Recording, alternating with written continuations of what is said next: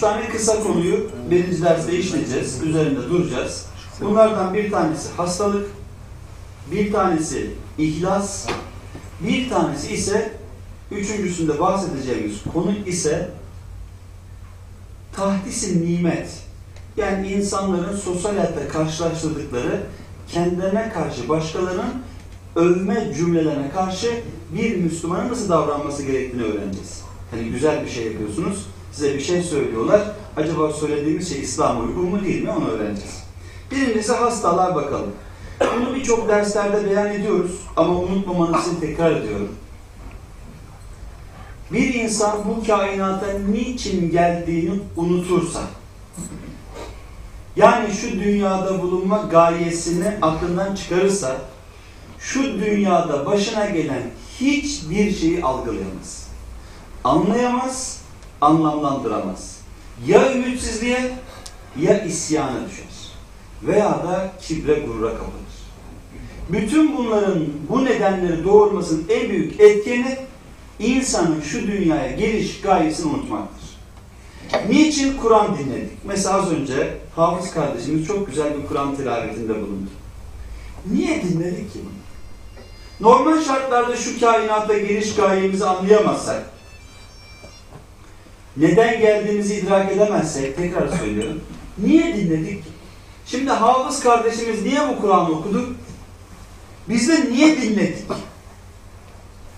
Normalde dışarıdan bakan bir insan bakar, ya bunlar dinlediklerini anlamıyorlar da, bu ne acaba, ya bunu niye böyle dinliyorlar der. Ama biz niye geldiğimizi, niçin geldiğimizi, niçin dinlememiz gerektiğini, hafızın niye bunu okuması gerektiğini, niye bunu hıfz etmesi gerektiğini bilirseniz her şey anlamını kendi halini ne yapar? Ortaya koyar. İşte bu kainatta gönderiş gayemiz neydi akın? Hadi bakalım. Güzel. Bir tane daha vardı.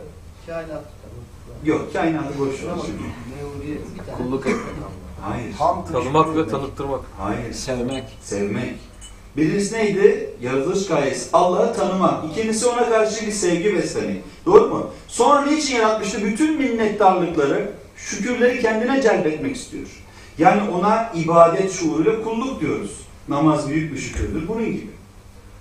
Şimdi gayemiz bu olduğuna göre bu gayeye ulaşabilecek istidatlar, manevi cihazatlarla donatıldığımıza göre elbette bu amaca ulaşmak için bu vazifemizi yerine getirmek için biz mücadele etmek zorundayız. Doğru mu? Elimizdeki bulunan bu maddi manevi cihazatı da dünyada ilk karşılaşmış olduğumuz olaylarla kullanıp buradan en birinci vazife olan Rabbimize iman ve onu tanıma işini yerine getirmemiz lazım. İşte hastalık da aynen bu vazifemizi yerine getirmemiz için bize yardımcı oluyor. Diyebilirsiniz ya ne acayip bir şey hastalık için Allah'ı tanımada nasıl bir yardımı olabilir ki? İnsan hasta oluyor, değil mi? Çaptan düşüyor, acı çekiyor, sıkıntı duyuyor, değil mi? Karnı ağrıyor, gece yerlerde yuvarlanıyor. Ammar öyle diyor, çok hoşuma gitti bugün.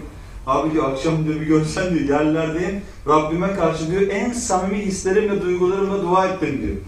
Değil mi? Niye? Şiddetli bir ağrı var. Şiddetli bir sıkıntı var.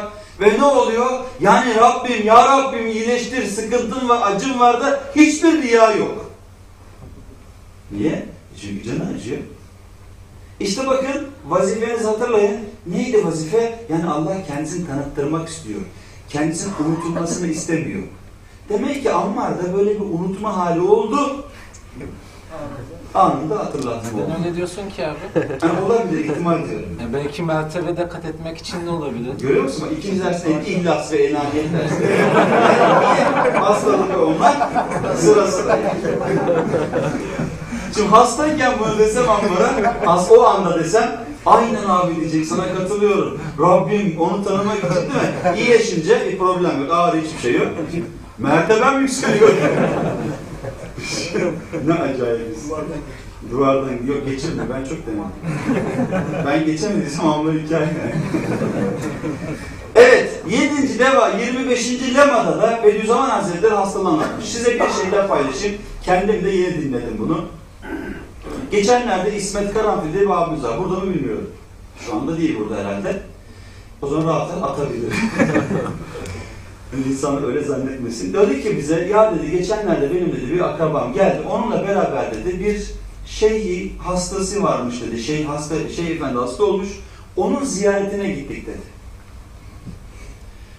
Ben de dedi gittim. Dedim ki ya ben de geleyim. Ben bir nur talebesiyim ama o da bizim bir İslam büyüğümüzdür. Ben de onu hem hastayken ziyaret edeyim. Allah rızası için bir duasını alırız diye o da gitmiş. Şey efendi hasta tabi. Şeyleri kabul ediyor. Ne derler? Ziyaretleri kabul ediyor. Böyle bir sürü de şey var. Cemaatinden, müritlerinden insanlar da var o esnada. O, o kısımdayken hoş geldiniz kardeşim demiş tabii şey efendi de buyurun demiş. Allah razı olsun ziyaretinizi Allah kabul etsin derken o da böyle cebinde de hastalar risalesi varmış İsmet abinin. Ve İsmet abi bunu demiş hocam ben size hediye etmek istiyorum. Bu sünnettir hediyeleşmek. Bu da tevafuk etti yani böyle geleceğimizden de haberimiz yok. Benim cebimde de okuyorduk kalmış diye. Ve o şey efendiye o hastalar risalesini uzatır uzatmaz eline almış ve ne demiş biliyor musunuz? Çok ilginçtir. Kardeşim işte benim mürşidim bu kitap. Beni bu kitap irşad etti. Ben yıllar öncesinde çok şiddetli bir hastalığa yakalanmıştım. Ve bir gün bana o kadar bir hastalık olmuş ki isyan derecesine gelmiş. Hastalık şiddetli, yani böyle kurtulabilecek değil, eziyetli bir hastalık. Ve bu hastalığın neticesinde nasıl olur yani hem burada dindar insanız, hem biz ehli imanız, niye ben böyle hasta oluyorum? Ben Rabbime karşı ibadetlerimde bir eksik yapmıyorum. Niye bu hastalık bu kadar şiddetli bir şekilde bana geldi? Artık bu halet hürriyeler içerisindeyken o Risale'yi verince hastalar Risalesini ve demiş ki kendisi benim bütün manevi dertlerim hepsi kurtuldu gibi maddi olanlar da kurtuldu. Ve benim işte gerçekten insanları irşat etme vazifemin başladığı zaman o zaman oldu. Onun için demiş, bu kitap demiş benim bütün irşadımı sağladı. Ve oradaki bütün talebelere, böyle yüzlerce talebesi varmış. Demiş kardeşim bu hastalar risalesini mutlaka okuyacaksınız. O kadar tesirlidir yani. Tavsiye ederim. Hastalandığınız zaman, hastalanmadan önce veya hastalanmış kişileri mutlaka götürün. Çok anlaşılabilir olduğu için de çok kolay herkes anlayacaktır. Ey sıhhatinin lezzetini kaybeden hasta. Senin hastalığın sıhhatteki nimet-i ilahiyenin, sıhhatteki ilahi nimetin. Şimdi mesela hiçbir yerimiz ağrımadığı için biz şu anda bulunmuş olduğumuz yaşanan nimetleri fark edemiyoruz değil mi? Mesela burnumuz ağrımıyor, kulağımız ağrımıyor, işte midemiz ağrımıyor.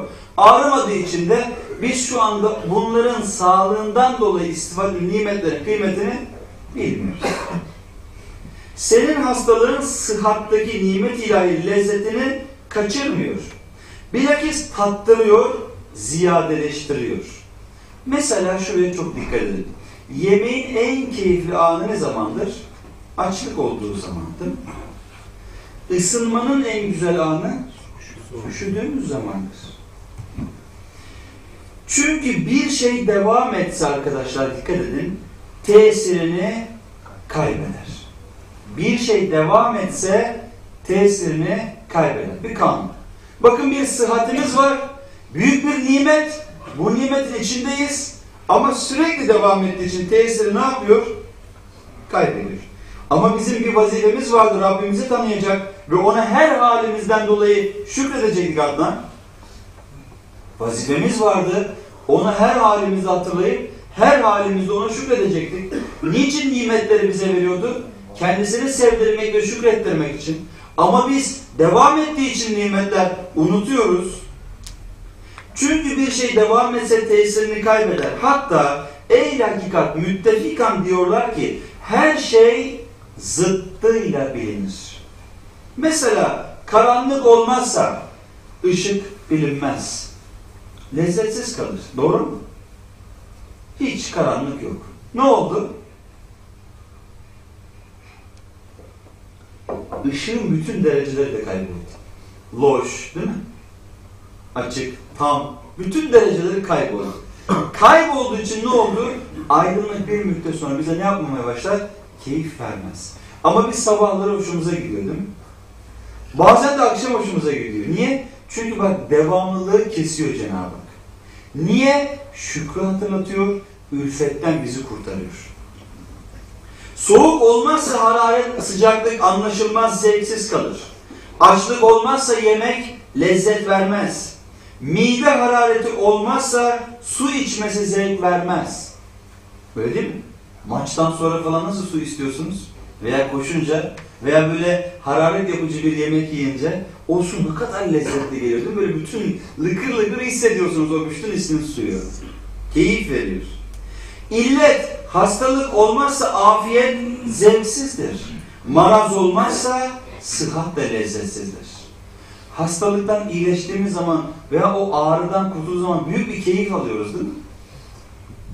Madem Fatır Hakim, yani benzersiz şeyleri yaratan hikmetli yaratıcımız, insana, dikkat edin, her çeşit hediyesini, her çeşit hediyesini o insana hissettirmek için.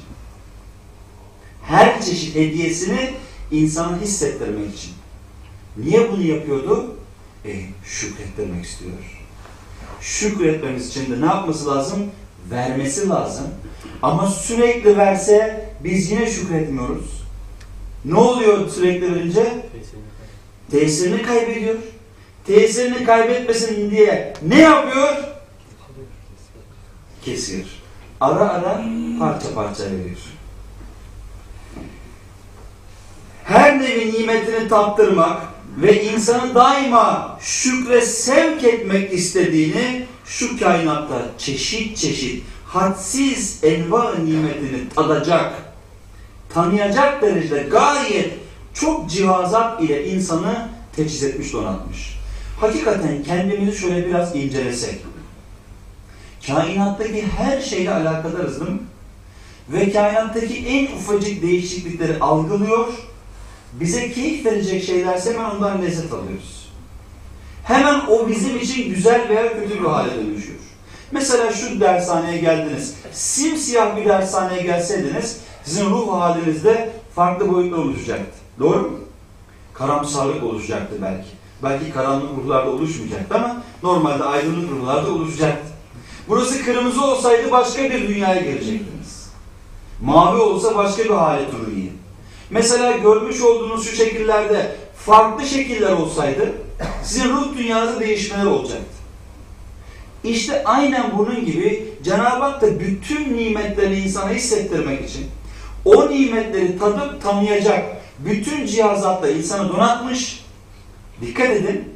Ve o donatmış olduğu duyguların karşılığı olacak kainattaki hem görsel görüntüleri hem bedensel işlemleri sürekli ne yapıyor? Değiştiriyor. Değiştiği için biz sürekli bir algılama içindeyiz kainat. Sürekli ne yapıyoruz? Algılıyoruz. Neden? Bir, Rabbimizi tanımak. İki, vermiş olduğu nimetlerle onu sevmek. Üç, vermiş olduğu nimetlere karşılık şükrümüzü eda etmek. Bu üç tane ana temeli oluşturabilmek için. Bitiriyorum. Elbette sıhhat ve afiyet verdiği gibi hastalıkları, illetleri, dertleri de verecektir. Senden soruyorum. Şimdi hepimiz kendimize bir soralım bunu.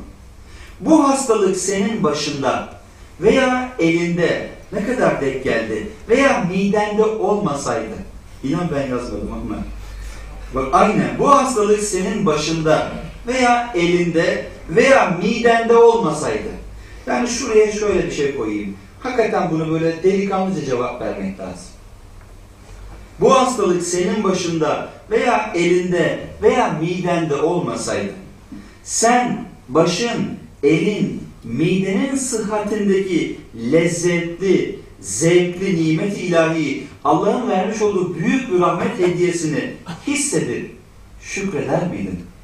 Şükreder miydik? Etmeyiz arkadaşlar. Hiç yalana gerek yok. Etmediğimizden zaten söylersek yalan.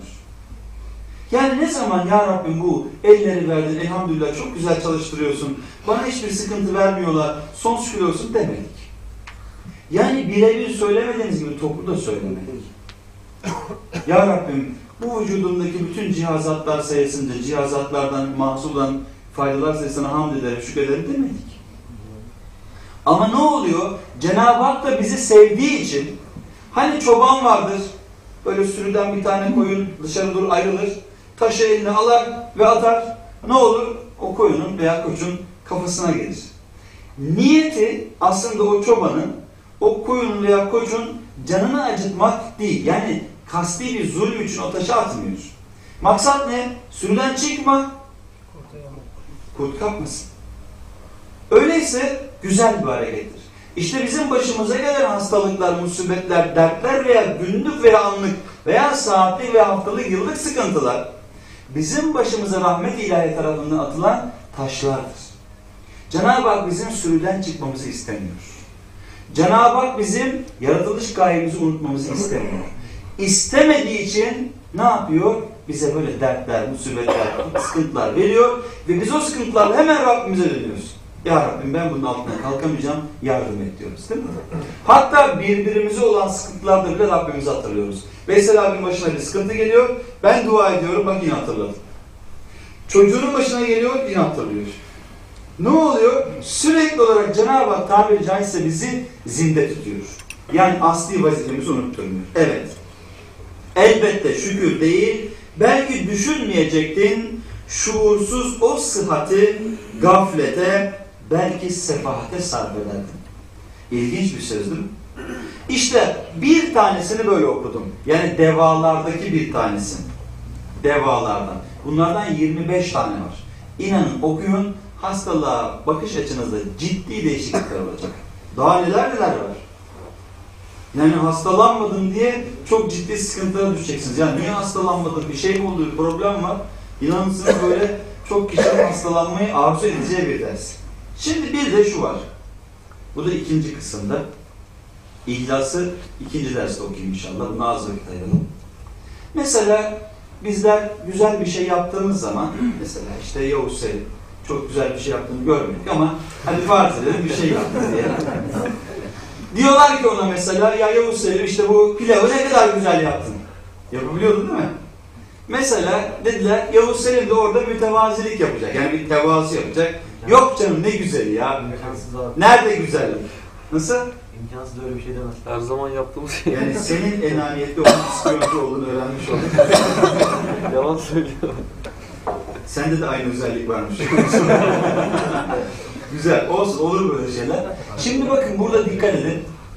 Böyle bir şey söylese, ya canım ne alakası var dese tevazu yapıyor gözüküyor değil mi?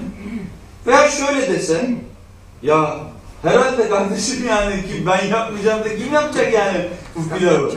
Parmaklarınızı yersiniz bak bir yapayım görün dese e bu da gurur kibire girer. İşte bu. Peki biz Müslümanlar olarak ne yapacağız? Mesela şimdi iki tane hafız kardeşim var. E şimdi okuyorlar.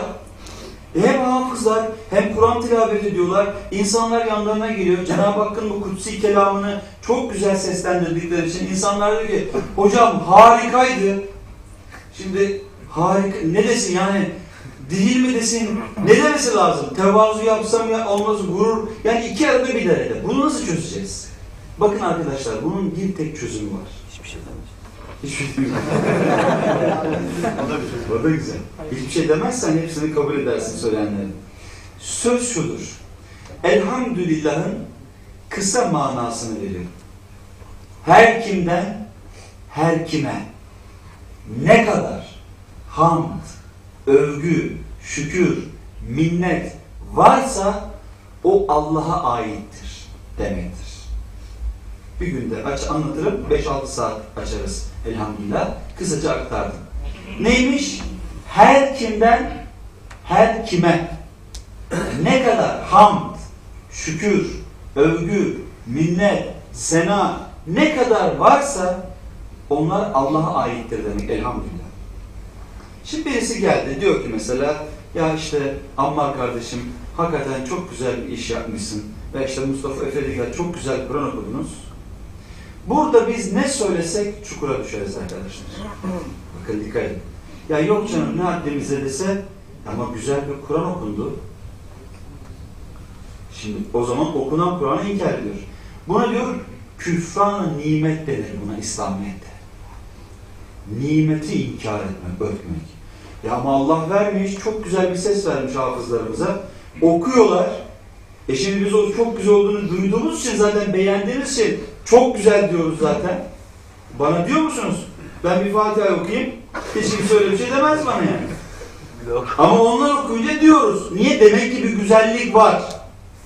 E şimdi onlar desek ya ne alakası var canım böyle şey yok ya haddimize değil abi ne okuması ne güzeli dese ne oluyormuş İslamiyet'te? Küfran-ı nimet. Nimeti örtme. Küfran kafirlikten gelir. Örtmek anlamındadır. E peki bunu demeyecek peki şöyle mi diyecek? Herhalde abi Mustafa Efe ya. Ve Abdülsamet Bülent yani. Şimdi ne desin yani? Böyle dese, abi görüyor musun heriflerde kibre gurur değil mi? Böyle diyecekler. E şimdi ne yapsın adam aşağı tükürsen sakal, değil mi? Yukarı sen bıyık diyecek. Bunun İslamiyet'teki en kısa ifadesi vardır. Hiç başka bir konuşma yapmadan.